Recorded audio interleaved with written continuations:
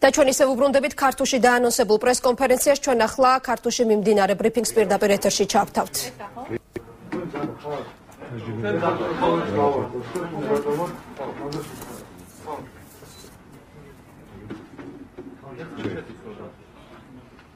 მე შეგახსენებთ რომ წინასწარ ცნობილია მხოლოდ ის რომ ქართულს 8 თანამშრომელს დაყადაღებული აქვს როგორც საბანკო ანგარიშები.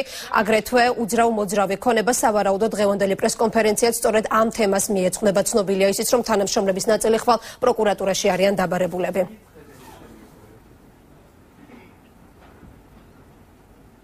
რამდენ წამში ვარ? რამდენ წამში ვარ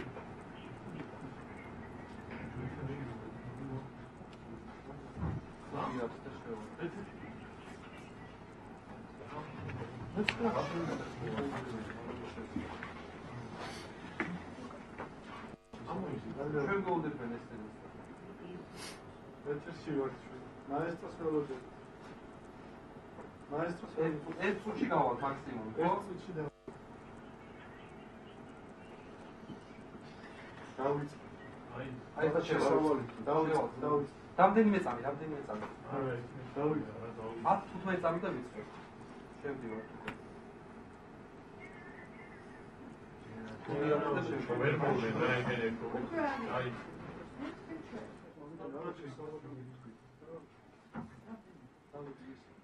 საქართველოს სახელმწიფო აუდიტის სამსახურის პარტიების ფინანსური მონიტორინგის სამსახურმა კიდევ ერთი უპრეცედენტო უპრეცედენტო და პოლიტიკურად ანგაჟირებული გადაწყვეტილება მიიღო, როდესაც ბანკ ქართულს 8 თანამშრომელი 8 თანამშრომლის უძრავ მოძრავ ქონება დააყადაღეს საერთო თანხით დაახლოებით 1.100.000 ლარზე.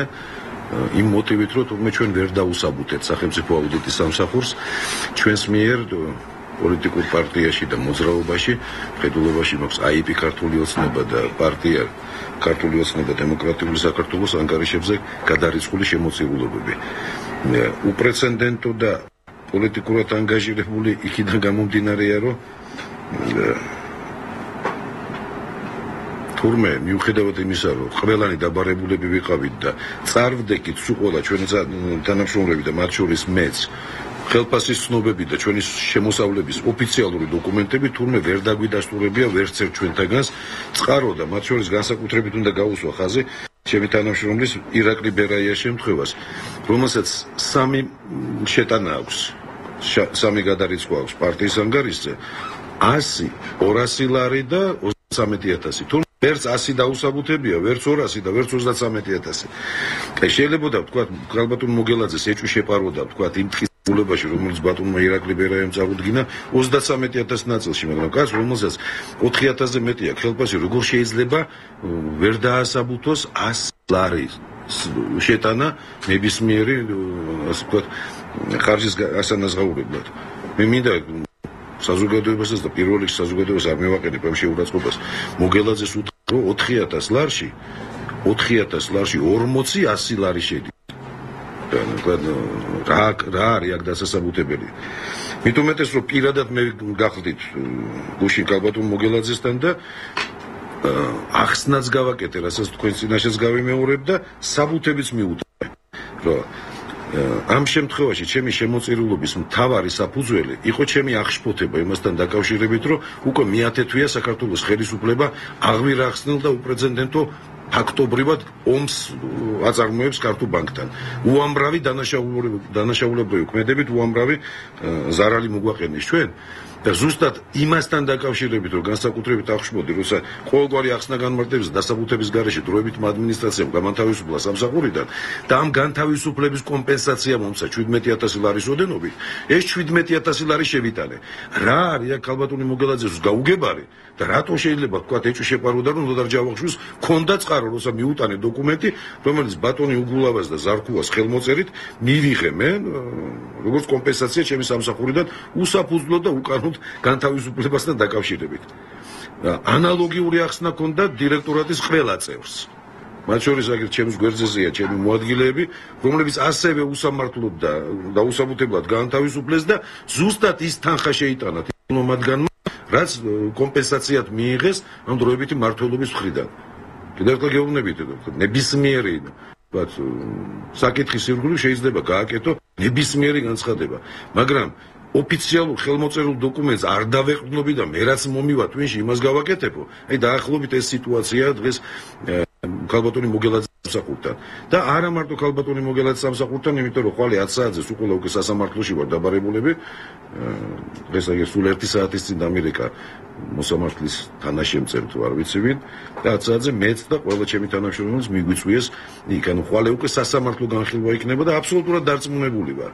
რომ მიღებული იქნება გადაწყვეტილება რომ თითოეულ ჩვენთაგანი უნდა დაჯარიმდეს ხუთმაგი ოდენობით. ანუ მილიონ 100000-ით საბოლოო ჯამში.